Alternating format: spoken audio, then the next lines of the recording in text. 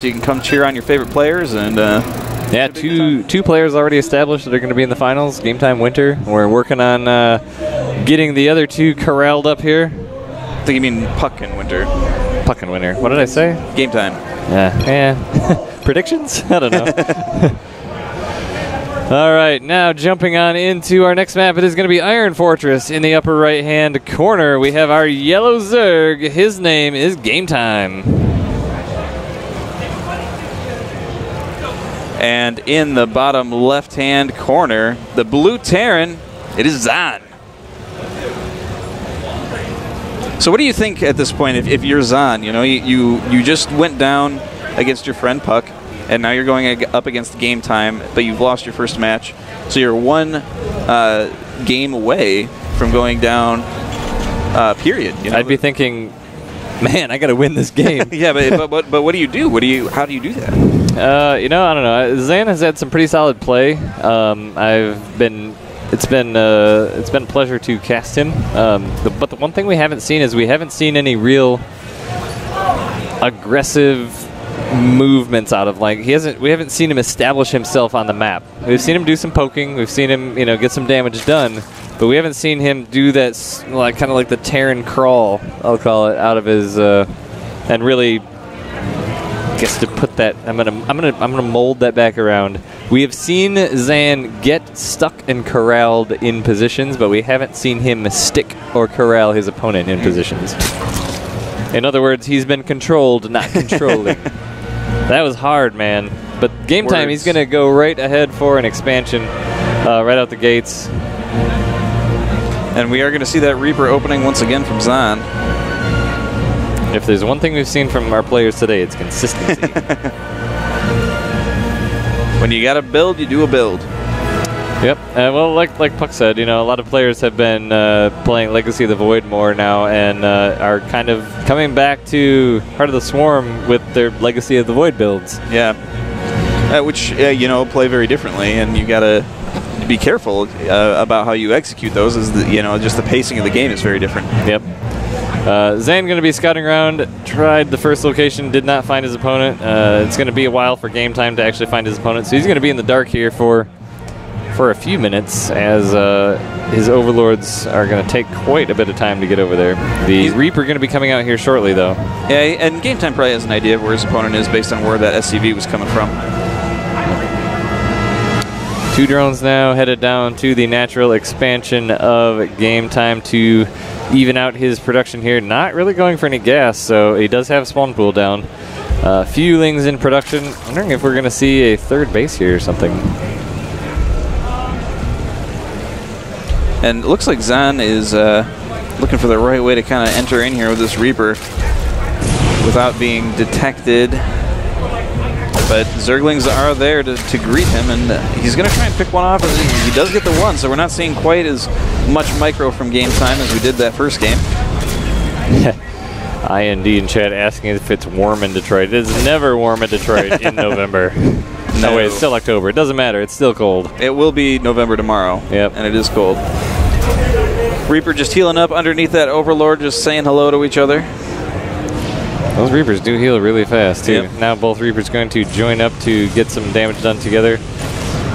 Uh, the the micro that's coming out of both of these players right now for game time to not lose SCVs or to lose uh, not lose Zerglings and also for Zan not to lose Reapers is pretty impressive. Uh, another drone going to be coming down here to build some extractors. More micro out of Zan to evenly distribute the damage between his two Reapers. Meanwhile, he is continuing to mine and expand as he gets his natural expansion up. I'm going to be transferring some SCVs over there in a moment. And now we're seeing the first gas coming out of game time uh, and getting three kind of all at the same time here as he's transitioning into some more Reapers. Reapers moving up and being shoved back by three queens who are not very happy with them at the moment. Yeah, I mean, Game Time has done a really good job of making a lot of queens early. It's really helped him defend a lot of these pushes. Yeah. Um, it's kind of made him not have to get quite as many of the larva costing units.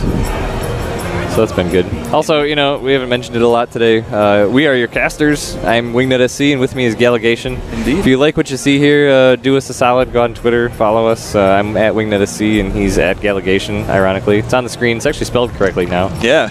Uh, our incorrectly. earlier. overlay was, what did it say, Gallic Nation? Gallic Nation, yeah. That's all right, though. Reaper's moving up, going to put some pressure on that hatchery. Very uh, minimal pressure as they don't do a ton of damage to buildings. And Lings are moving forward with some roaches, but it's possible that these are going to just pull these roaches out of position for these Hellions as they're moving forward. I remember the day when uh, when Reapers had uh, had explosive canisters that attacked buildings, and it was a lot more That, that was a, a explody. very different use of Reapers back then. Sorry, exclamation point, casters or caster doesn't work. Did not set that up. So 1-1 going down for the missile upgrades for the Zerg player.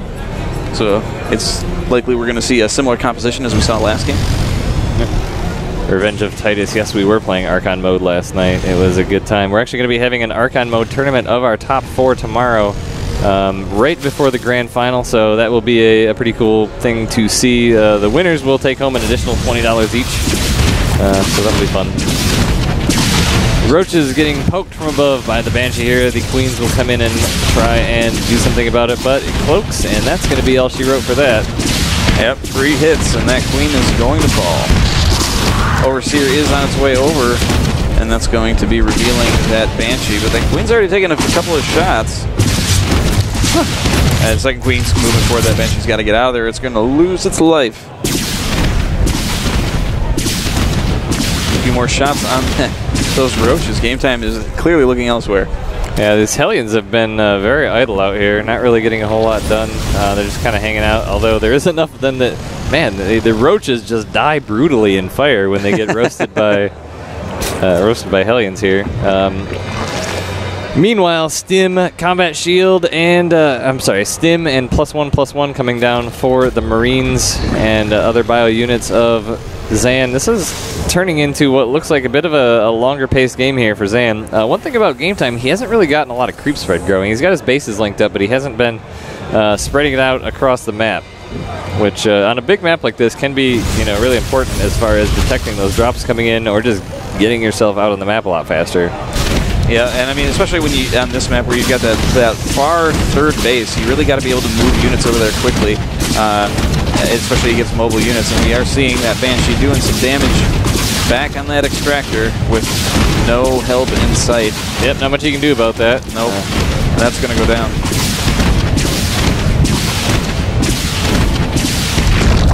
Game time's uh, gas mining is going to be affected slightly there. And oh, he's going to actually take it out again. That's rough. Whoops.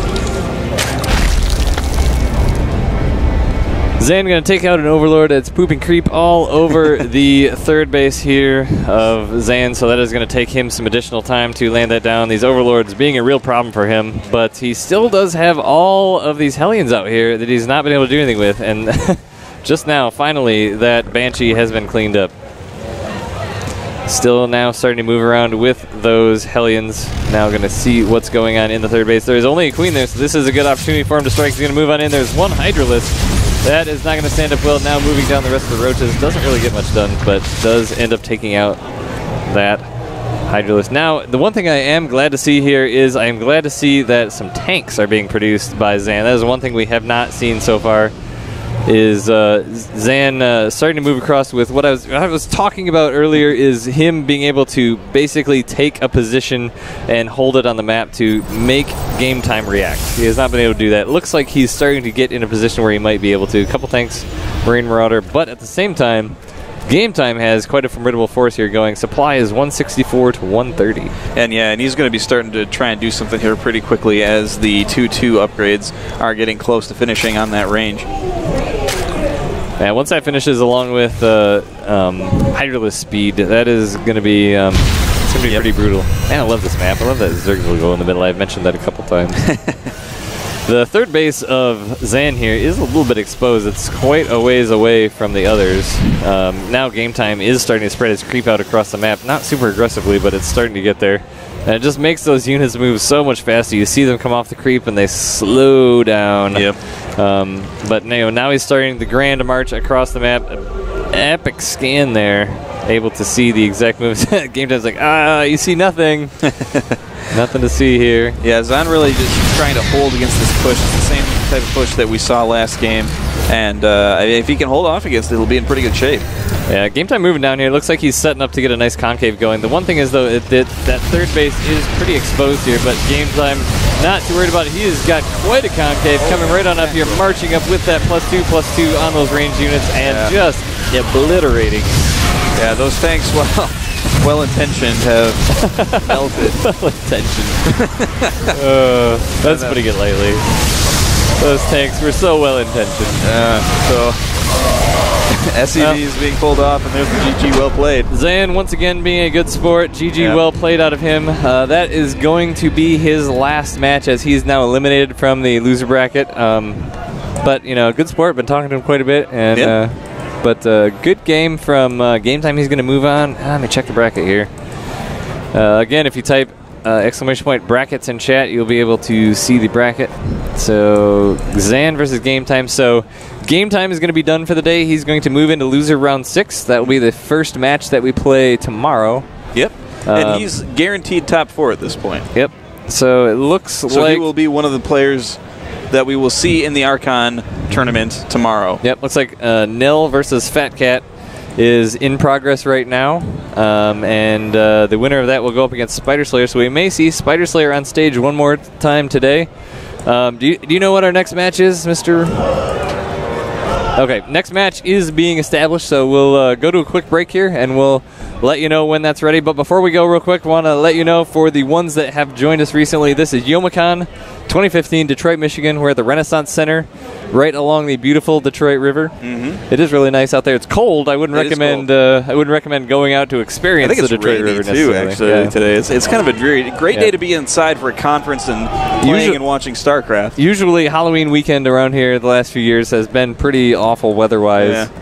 Uh, we are your commentators, casters, producers, streamers. Uh, I'm Wing.sc. This is, with me is Galligation. You can Hello. find us on Twitter at Wing.sc at Galligation. That's right. Also, please take a moment to go out to Twitter and uh, search for Mythlogic. Send them a tweet at best. Uh, that would be awesome to tell them thanks for supporting the tournament. They're what makes it possible to really bring a wider audience out Yeah. to tournaments like this. Um, and we have people here like Puck and uh, and Zan and a couple others have traveled 15 hours to come out here. Um, thanks to the prize pool we've been able to have, uh, thanks to Mythlogic. They build some really cool PCs. Recommend you check it out. Mythlogic.com. Yep. Send them Um, a tweet. Just tell them thanks for uh, thanks for supporting esports. And Yep. if you're in the market for a new PC, maybe check them out and uh, play around on their website. You can build something pretty sweet at a reasonable rate. So check them out. Yep. Uh, we're going to take a quick break, like we said. We'll have an interview here with uh, with Game Time, uh, our winter interview, and uh, then we, by then we should know what our next match is, and we'll let you know. So we will be back before too long. All right. Stay tuned.